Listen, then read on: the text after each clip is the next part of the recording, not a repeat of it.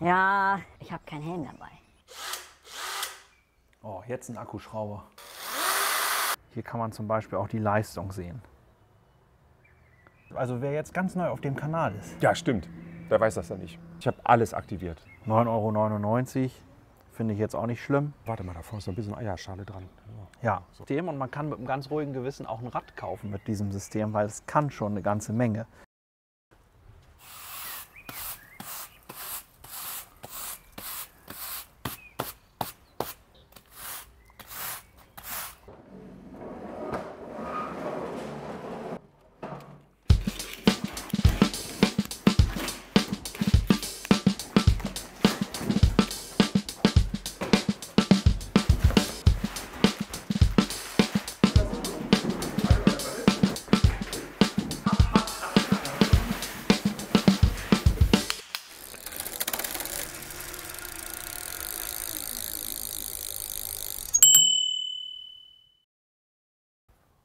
Und hier ein weiteres Video mit Nils Hogendorn. Ja, moin erstmal.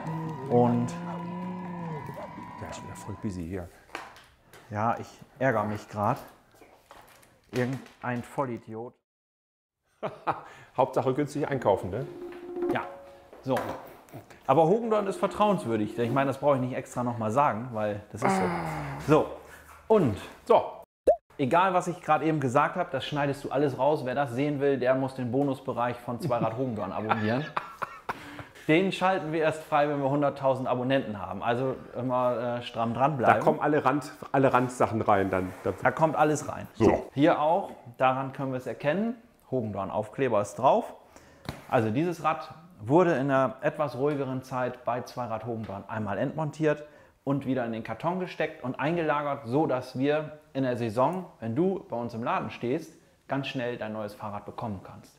So planen wir unsere Saison, so bereiten wir uns darauf vor und das machen wir, wenn mal ein bisschen weniger los ist, wobei ja, Däumchen drehen war überhaupt nicht angesagt in der Zeit. Nee. Aber darum soll es in diesem Video gar nicht gehen.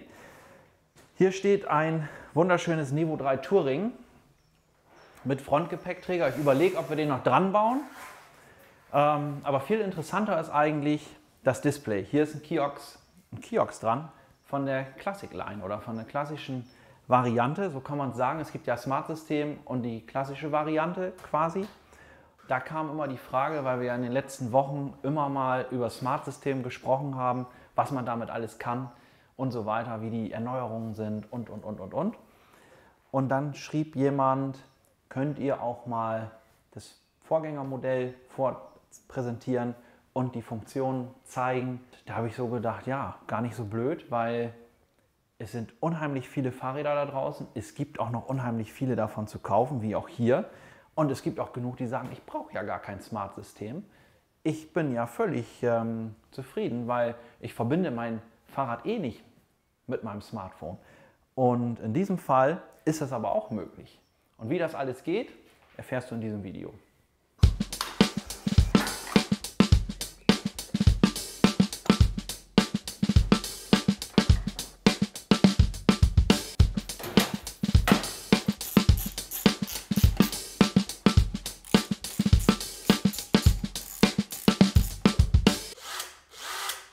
Oh, jetzt ein Akkuschrauber.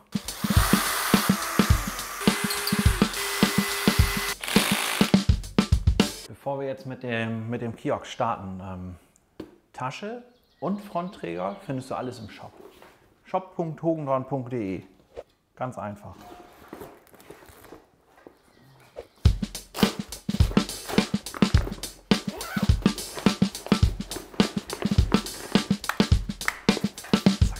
Und bevor wir jetzt hier in der Werkstatt versäuern mit dem Nevo 3, da gehen wir nach draußen. Das sah jetzt überhaupt nicht gestellt aus. Cool. So, was ist los? Kommst du? Ja, muss ja, ne? Ja, muss ja. So schlimm. Also es ist herrliches Wetter. Okay. Ja. Das sah jetzt ja so gar nicht gestellt aus. Hast du verbunden? Nee, wie denn? Okay, was hast du denn bis jetzt gemacht? Ich habe mich registriert, nochmal. Ja. Nochmal. Ich konnte meine alten Daten nicht verwenden für meine Smart System-Geschichte. Naja gut, du aber hast ja, also das müssen wir den Zuschauern vielleicht einmal verraten. Du hast jetzt das, also wer jetzt ganz neu auf dem Kanal ist, Ja, stimmt. Wer weiß das ja nicht. der weiß nicht, dass du ja ein Load 60 mit Smart-System hast. Richtig? Und hier haben wir ja das BOI 330. Und da wurden wir gefragt, was ist eigentlich mit der Connect-App? Ähm, könnt ihr die nicht auch mal zeigen und vorstellen? Wie verbindet man sich überhaupt und so weiter? Weil davon sind unendlich viele Räder im Umlauf. Und genau das machen wir jetzt. Dieter, du hast die App jetzt So, Heruntergeladen? Ja, ich mache mal hier ein bisschen Platz für die App. Können wir die dann schön rechts zeigen. also ein bisschen fegen ne? und schon ist man außer Puste. Wie ist das wohl beim Fahrradfahren? Ich weiß gar nicht, ich bin hier ganz am Rand, aber das ist auch uninteressant, weil wichtig ist, was da gezeigt wird. Das ist jetzt gespiegelt hier die äh, App. Ich gehe jetzt hier einfach auf mein Bike und sage einfach neues Gerät hinzufügen. Habe vorher natürlich logischerweise dann hier schon mal das System aktiviert. Gucken wir, was passiert. Kiox hinzufügen. So, und jetzt? Kiox muss in den Pairing-Modus Genau. versetzt werden. Die halten wir jetzt fünf Sekunden lang gedrückt. Ja. Kiox 1664 zu verbinden, Ja. tippen. Kopplungsanforderungen, jawohl. Verbindung Und erfolgreich. Fertigstellen. Ja, ja jetzt Und, darfst du ähm, übernehmen, Ich darf jetzt weil ich übernehmen. das gar nicht kenne, das System. Du kennst das gar nicht. Wir gucken einfach mal durch, was wir so haben. Und wir sehen hier diesen Monat 0 Kilometer, 0 Kilometer Gesamtstrecke. Also du hast in dieser App auch, also wir haben dieses Rad jetzt mit der App verbunden und du kannst hier quasi einmal alles ablesen. Du siehst dann auch deine Aktivitäten. Okay, Aktivitäten, Zugriff, Standortzugriff. Standortzugriff, ja, Jawohl. ähm, beim Verwenden. Beim Verwenden. Ja. Genau. Okay, gut, noch keine Aktivitäten vorhanden. Das ist auch in Ordnung, weil dieses Rad ist wirklich ganz neu aus der Verpackung, aus dem Lager. So, dann haben wir hier Karten. Oh, warte mal, da vorne ist noch ein bisschen Eierschale dran. Ja, Kartennutzung bist du auch einverstanden, ja? Gut, das wird ja später wieder entkoppelt. Aber das Ja, habe ich auch bei meinem Smart-System habe ich das auch so gemacht. Ich habe alles aktiviert. Ja. alles. Genau, damit du vollen, vollen, vollen Funktionsumfang hast, Genau. musst du halt immer alles aktivieren. So, legen wir los. So, und jetzt sieht man schon, wir sind in Jadaberg und gut ist. Und wenn ich jetzt mal sage, so alles klar, wir wollen, also du kannst auch gespeicherte Routen hochladen, ne? Mhm. Also GPX-Daten oder sogar, hier ist das Komoot-Logo, ne? Ach, guck mal, Kannst, ja, kannst das du über. Komoot wahrscheinlich ähm, synchronisieren. Ich besten- mache jetzt einfach folgendes. Ich sag mal, wir wollen nach Farel. So, und jetzt haben wir eine Route von Jadaberg nach Farel. Mhm. So, ich sag mal speichern. Route. Ich schreibe jetzt nach Farel. Okay. Route wird gespeichert. Okay. Ja, und jetzt ist die ja dann ja wahrscheinlich auch unter den gespeicherten Routen logischerweise dann aufrufbar. Gespeicherte Routen hast du da irgendwo gehabt und da ist Fahre. Super. Route auf Kiosk starten. Einstellung. Okay, dann müssen wir das immer erlauben. Mhm. Okay. Zack. Ja, was wir jetzt nicht zeigen können, ist, dass hier jetzt Die Route. oben auf der App gerade siehst, hier in der Seite, oben ist da praktisch in einer etwas äh, noch sterileren, stilisierten Form zu sehen. Also es ist ja auch ein sehr kleines Display, aber man kann damit navigieren. kannst halt heran, heranzoomen oder herauszoomen, auch auf dem Kiosk dann. Das ist ja alles beschrieben, in Wirklichkeit alles beschrieben. Du bist jetzt verbunden. Ich hätte jetzt gesagt, ähm, lässt du mich eine Runde mit, deinem Rad, mit, dem, mit dem Handy in meiner Tasche fahren? Nicht, dass es rausfällt. Aber mach mal, dann ne, sag mal bis ich fahre mal los Ja. und Ja, Ich habe keinen Helm dabei. Ja, komm, ist, du fährst ganz vorsichtig. Ne? genau, ich fahre jetzt ganz, Ganz vorsichtig, vorsichtig. und dann gucken Und wir mal. So, Bis gleich. bis gleich. Was für ein schönes Wetter. Moin. Ja, Jetzt bin ich bestimmt ja, zu dicht noch dran. näher, noch näher hier. Da habe ich da überhaupt keine Probleme drin. Erzähl. Ja, was Ja. soll ich sagen? Also, was mir halt aufgefallen ist und direkt auch positiv aufgefallen ist, wir können das ja auch, diese ganze Fahrt, die ist ja jetzt aufge, ähm, auf deinem Smartphone drauf. Im Display vom Kiosk, da sieht man jetzt nicht ganz so viel. Also er zeigt dir keine Straßennamen an oder irgendwie so. Aber du hast immer einen Pfeil, in welche Richtung du fahren sollst. Und wenn du die Route siehst, kannst du dich halt auch immer Richtung Route orientieren und dann dementsprechend wieder an der Route entlanghangeln. Trotzdem macht das natürlich auch immer Sinn, dann wirklich einmal auf dem Smartphone zu gucken, wie heißt die Straße, bin ich auf der richtigen Straße und so weiter. Also mein Tipp ist, wenn du das machst, mach das so wie Dieter, einfach App installieren, verbinden und einfach mal losfahren und das Ganze ausprobieren. Also ich habe es auch mal so gemacht, ich habe auch mal mit Komoot eine Route geplant, habe die auf das Kiosk oder beziehungsweise in die Connect-App hochgeladen und bin dann durch den Wald diese Route gefahren. Du darfst die Route nur nicht so häufig verlassen, weil ähm, dann wird es vielleicht mal schwierig, die Route wiederzufinden. Aber dafür hättest du dann ja auch das Smartphone. Also das ist so, was ich dir schon mal vorab sagen kann dazu.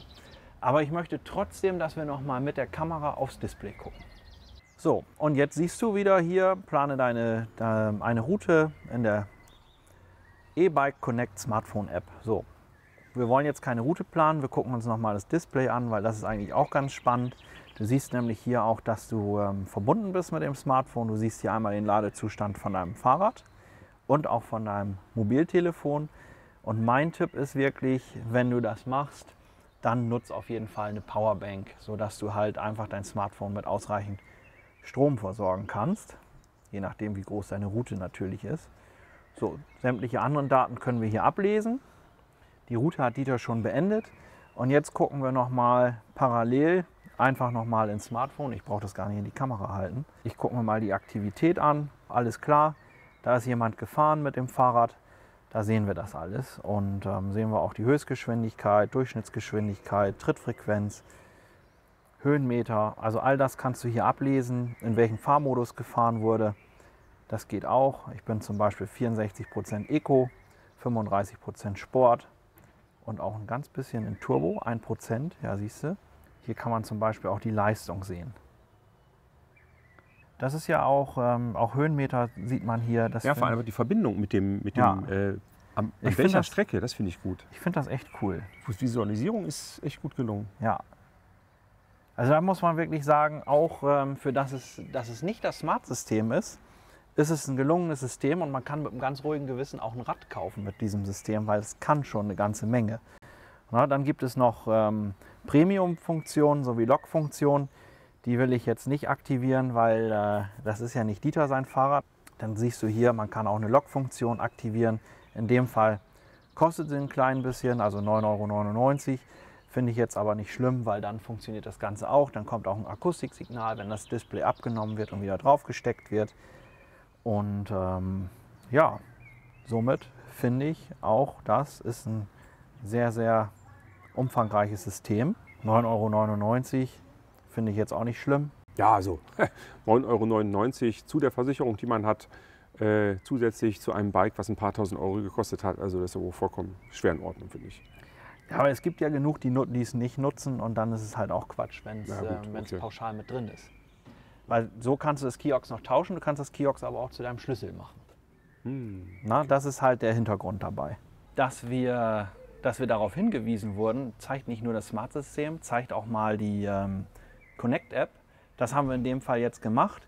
Wir überlegen uns mal, wie wir weitermachen, ob wir mit dem Fahrrad noch ein paar Mal unterwegs fahren und einfach noch mehr zu zeigen, auch diese Planung, Routenplanung mit Komoot, ähm, um das einfach mal vorzuführen, wie es überhaupt geht, sodass du es zu Hause nachmachen kannst. Und ähm, ja, was soll ich sonst noch sagen? Daumen hoch da lassen fürs Video, Kanal abonnieren nicht vergessen. Und dann sehen wir uns schon vielleicht auf einer Fahrradtour oder im nächsten Video bei wunderschönem Wetter. Ja. Bis dann. Bis dann.